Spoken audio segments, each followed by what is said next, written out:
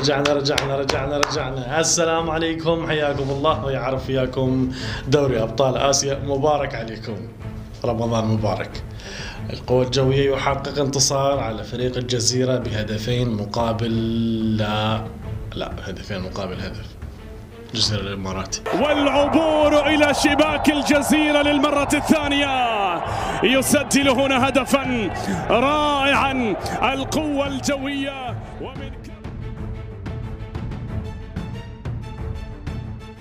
دوري أبطال آسيا طبعا منور بوجود الفريق العراقي القوة الجوية. هذه النسخة الثانية على التوالي اللي يخوضها فريق القوة الجوية بالنسخة الأولى. ما حقق شيء؟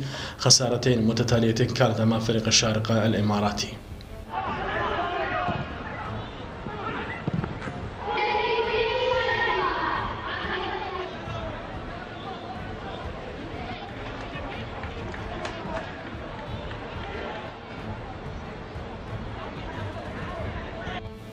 اما فريق الجزيرة طبعا له باع طويل في هذه البطولة عكس فريق القوة الجوية.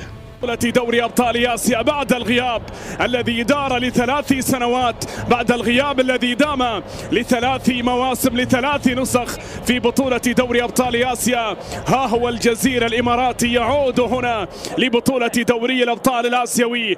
المباراة الأولى أمام القوة الجوية العراقي حقيقة. فريق الجزيرة لأول مرة يلاعب فريق عراقي القوة الجوية لكن القوة الجوية واجه ست فرق إماراتية في مناسبات مختلفة. للأسف يعني ما حقق فقط انتصار وحيد على الوصل ب 2008 أما بقية النتائج كانت تعادل وحيد وأربع خسارات.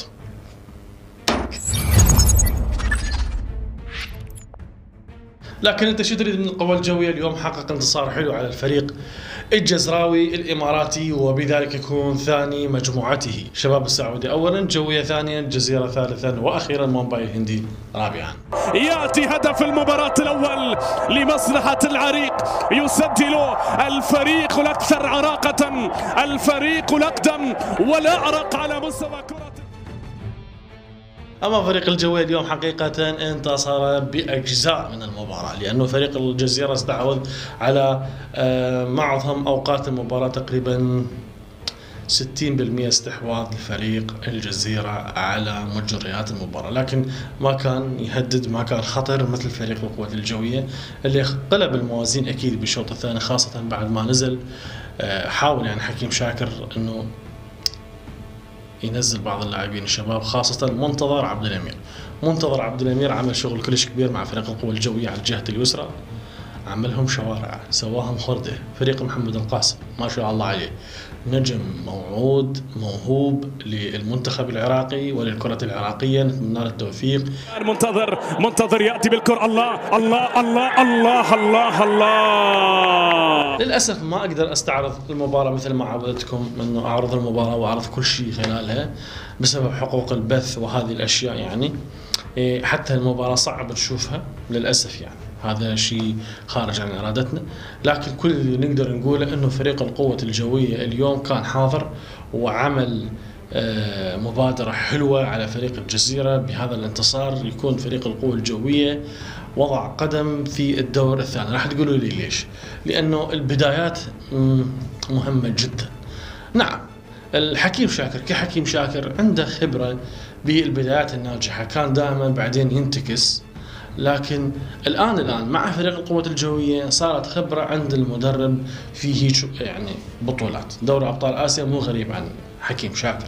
لكن عن فريق القوات الجوية عن الشباب الموجودين أغلبهم دوليين أعتقد مهم جدا هذا الانتصار ويعني معنويا راح يساعدهم بالانتقال للدور الثاني. أمامنا يعني مسيرة طويلة جدا يعني طويلة مع الفريق فريق القوات الجوية.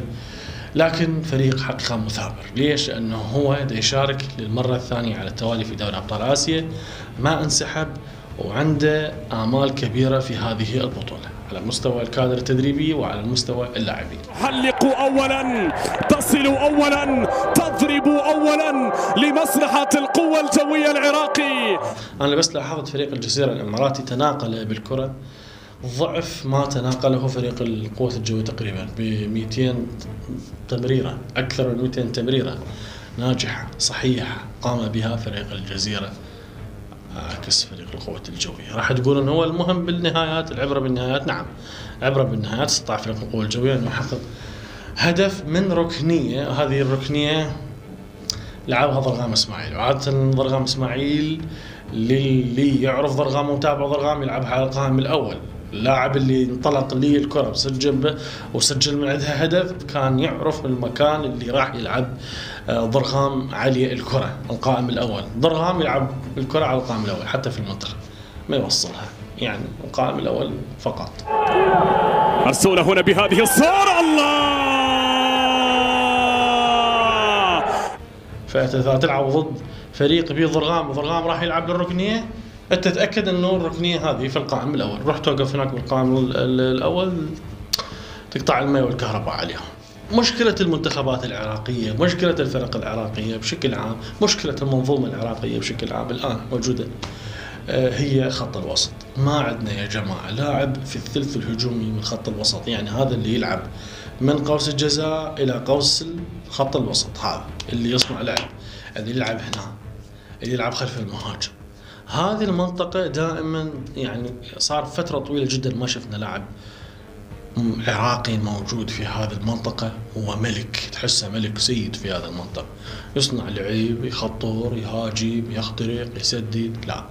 لذلك تشوف أغلب الفرق العراقية اليوم تلعب على اليمين وعلى اليسار وتعتمد بشكل كبير جدا على الكرات العرضية. وإن كان يعني هي مو منتجة لأنه إحنا ما نحقق من عندها أهداف. يعني إحنا إيش قد نلعب كرات عرضية ركنية؟ ما نحقق من عندها اهداف الأهداف بالعكس تجي من الكرات العشوائية من الكرات البينية. نادرة جدا نجيب من عندها أهداف. وعلى أي حال تبقى هذه يعني هذه المنطقة خالية. يعني شبه خالية الآن في هذه الفترة الزمنية من حياة الكرة العراقية. الوصول من اليمين العرضية المرسلة أنا اليوم شفت واضح في فريق القوى الجوية وجود صفاء هادي مع عبود يعني في هذه المنطقة زين خوش عاملين شغل لكن آه على اليمين وعلى اليسار يرجعون للخلف ما يقدروا ما يقدرون يخترقون من خط الوسط وما اجى لاعب يقدر يخترق من خط الوسط. يقولون لنا عندنا حسن عبد ال- آه، عبد الكريم كلاعب عراقي يعني يقدر يسوي هيك تمريرات ويدخل من خط الوسط. من خلف يعني المهاجم لكن في فريق القوات الجوية حاليا ما موجود هذا اللاعب للأسف. شفنا منتظر عبد الأمير عجبنا والله كل زين. على الجهة اليسرى مهاري كذا لكن أنا أحكي عن هذا الجزء من الملعب للأسف ماكو. ولو كان عند الفريق ال- الجوي لاعب يلعب في هذا المكان لا كان شفته غير حكي بالنسبة لل- الهجمات بالنسبة للانتقال من الدفاع الهجوم الخطورة اللي يسويها فريق القوى الجويه وغيره من الفريق من الفرق العراقية إذا عندهم هيك لاعب للأسف ما حال- حاليا القوى الجوية. عندها ثلاث نقاط هذا كلش مهم وإحنا نبارك لهم وفي نهاية هذه الحلقة كل اللي أتمنى من عندكم ان تضعون اعجاب تعليق وإن شاء الله أشوفكم على خير. في أمان الله.